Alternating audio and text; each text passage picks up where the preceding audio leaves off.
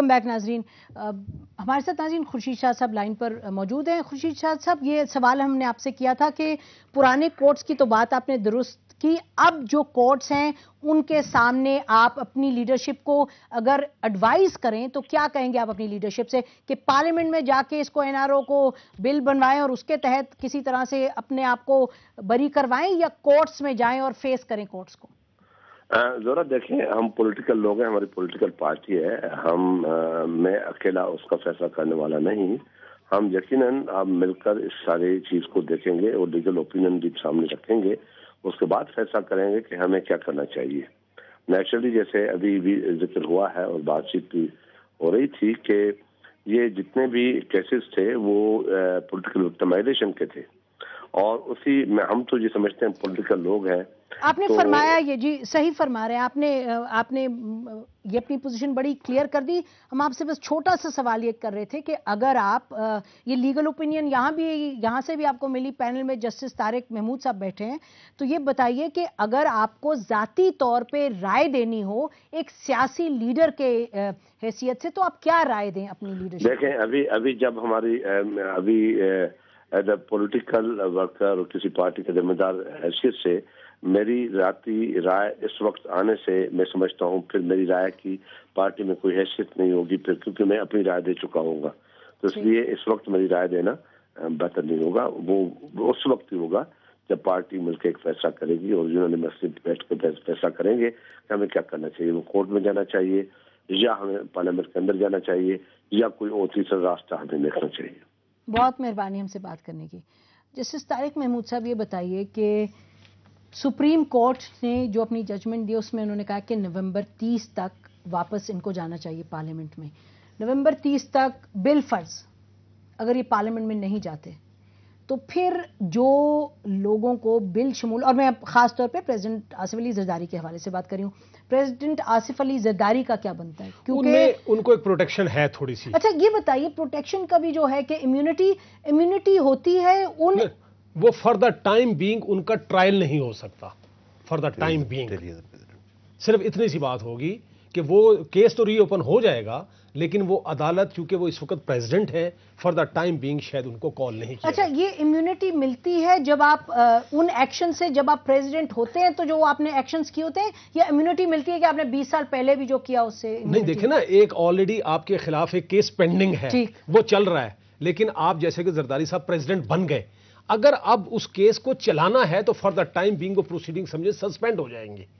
लेकिन जैसे ही वो उधर से फारिग होंगे तो वो तो उनको फेस करना पड़ेगा। इसका मतलब कि प्रेजेंट इसमें दो इश्यूज़ हैं। देखिए एक तो यह है कि उनके खिलाफ प्रोसीडिंग्स इसके हवाले से हमारे आइन के अंदर एक ब्रिटिश कलोनियल लेगेसी है कि सदर को और गवर्नर को क्रिमिनल प्रोसीडिंग से इम्यूनिटी है हम्म। जबकि वज़ीर आला और वज़ीर आज़म को ऐसी कोई इम्यूनिटी नहीं है और हम्म। मैं समझता हूँ कि इसको ख़त्म होना चाहिए ये भी इम्तियाजी इम्यूनिटी है अगर prime minister of the country और चीफ मिनिस्टर को ये तहफ़ हासिल नहीं कि क्रिमिनल प्रोसीडिंग्स उनके खिलाफ नहीं हो सकती तो वाई सदर और गवर्नर जनरल चूँकि ये वायसराय की पुरानी लेगेसी है तो ये एक है दूसरी तो चीज़ आप इसको मूव करें दूसरा की चीज़ मूव जी हमने ये जो आईनी आईनी रिफॉर्म्स की जो कमेटी है अच्छा, उसमें हमारी ये तजवीज है कि ये जो सदर और गवर्नर को क्रिमिनल इम्यूनिटी दी गई है इसको खत्म होना चाहिए। पीएमएलएन का ये मौकफ है कि ना प्राइम मिनिस्टर को ना प्रेसिडेंट को। ये इस्लाम के भी असूलों के मुताबिक नहीं है कि आप सबको कानून की नज़र में बराबर होने चाहिए। दूसरा जो इशू अब लीगल एक्सपर्ट तो ये है अगर ये बात साबित होगी कि वो कवर हासिल नहीं था तो मेरे ख्याल में एक और जो तनाज़ा खड़ा हो सकता है वो मुमकिन उनकी अहलियत के बारे में खड़ा हो सकता है कि क्या जिस वक्त उन्होंने अपनी नॉमिनेशन फ़ाइल की तो वो उसके मुताबिक अहल थे या नहीं थे और इस एनआरओ की क्या लेकिन जहाँ तक अगर वो मसला खड़ा हो तो फिर क्या वो उसमें फिर रेट ऑफ़ को वारंटो जो है यानी एक्सप्लेन कीजिए वो वो इसमें कि मिसाल के तौर पर कोई आदमी जो अदालत में चला जाएगा और आके कहेगा कि इस वक्त इनके पास ये ओहदा है और बेसिकली ये एलिजिबल नहीं थे और उसकी बुनियाद वो बनाएगा जो कि जिसके एहसन साहब ने इशारा किया तो उस वक्त इम्यूनिटी की बात नहीं वो फिर फिर वो फिर वो बात फिर वो मतलब वो बात फिर रेलिवेंट होगी और अल्टीमेटली ये अदालत को फैसला करना पड़ेगा कि अगर किसी के खिलाफ को वारंटों की पिटीशन आती है कि जिस दिन उसने अपने नॉमिनेशन पेपर दाखिल किए तो उसकी जो क्वालिफिकेशन और डिसक्वालिफिकेशन थी अगर वो अब डिसक्वालिफाइड हो रहा है तो उसकी क्या सूरत हाल होगी? और वो चूँकि दोनों डिसक्वालिफिकेशन की क्लासेज और ये क्लासेज जब मिलकर पढ़नी पड़ेगी क्योंकि पाकिस्तान में मेरा ख्याल ऐसा सच ऐसा कोई फैसला नहीं है तो ये एक नई कॉन्ट्रोवर्सी होगी जो शायद फिर अल्टीमेटली जो है कोर्ट में अगर जाएगी तो उसको डिसाइड करनी पड़ेगी। तो ये कानूनी बेसिकली एक फैसला होगा। हाँ। तो बाहिर जो आप बात कर रहे हैं मैं अभी आपके पास आते हैं कि आसिफ अली जरदारी साहब जो प्रेसिडेंट हैं इस वक्त उनको ये जजमेंट के बाद एक खासा उन पर एक इम्पैक्ट है इस जजमेंट का। तो ये चीज़ खुल के आ सकती है सामने फिर से। जी बिल्कुल आ तो सकती है और मैं इसीलिए कह रहा हूँ कि देखिए ना जी कोर्ट में चले जाएँ कि ये जाएँ ये ही सेफ़ रास्ता है यही सेफ़ रास्ता। और उसकी एक इनको एडवांटेज भी है क्योंकि देखिए केस भी गवर्नमेंट ने प्रोसिक्यूट करना है। देखें अगर नैब का डिपार्टमेंट है या जो भी उसका सक्सेसर होगा तो आखिर किसी ने अदालत में पॉलिटिकल विक्टिमाइजेशन का तो डर नहीं होना चाहिए। हाँ ये बात ठीक है। और जजेस भी बनाए काफ़ी जो कि अब इन लोगों ने खुद बनाया देखिए इसमें बात यह है कि जैसे मैंने आपको पहले कहा कि जहाँ तक ऑर्डिनेंस जब इशू होता है तो एक लीगल पैरामीटर्स में वो एक इशू हो गया।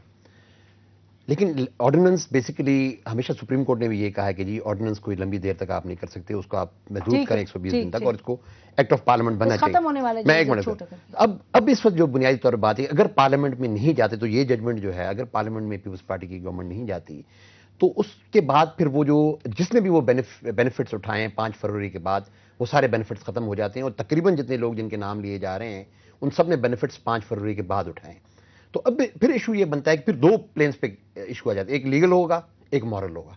एक मॉरल प्रेशर अपनी जगह सब उन लोगों पे जो गवर्नमेंट में बैठे हैं और क्या होगा, उनके कि जी आप अब किस बुनियाद पे बैठे हैं?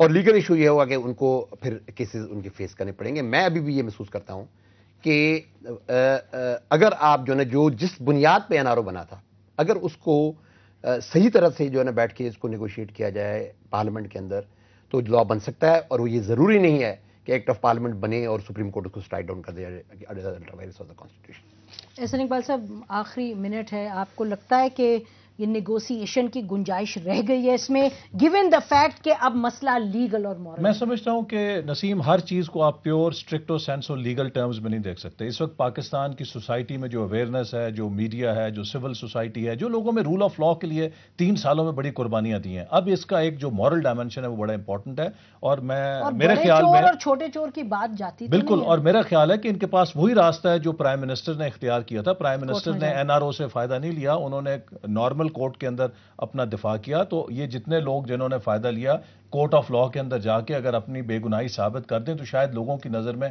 वो ज़्यादा मोतबर होगी बजाय इसके कि किसी बैक डोर के ज़रिए, किसी डील के ज़रिए इसको क्लोज करने की कोशिश की जाए।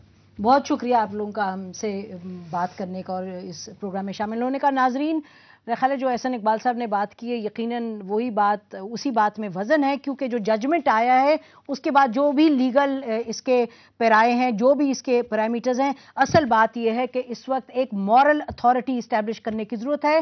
प्रेजिडेंट ऑफ़ पाकिस्तान समेत हर एक को जो पोलिटिकल इस वक्त फ़ील्ड में है, और उसका तरीक़ाकार यही है कि जो कानून है, उसको फेस करें। जो कोर्ट्स हैं, जो कि अब यकीनन वो कोर्ट्स नहीं है, जो जनरल मुशर्रफ के दौर के कोर्ट्स थे, या पुराने कोर्ट्स थे, ये वो कोर्ट्स कोर्ट्स हैं कि जिनके बारे में खुद ये हुकूमत कहती है कि ये फेयर प्ले कर सकते हैं कोर्ट्स तो पॉलिटिकल लीडरशिप जो पाकिस्तान की है, जिसने कि एनआरओ के तहत प्रोटेक्शन हासिल की, उसको चाहिए कि ये कोर्ट में जाए और केसेस फेस करे ताकि वो कौम को भी फेस कर सके। इसी पर हम आज का प्रोग्राम ख़त्म करते हैं। बहुत शुक्रिया। खुदा हाफिज़। पाकिस्तान जिंदाबाद।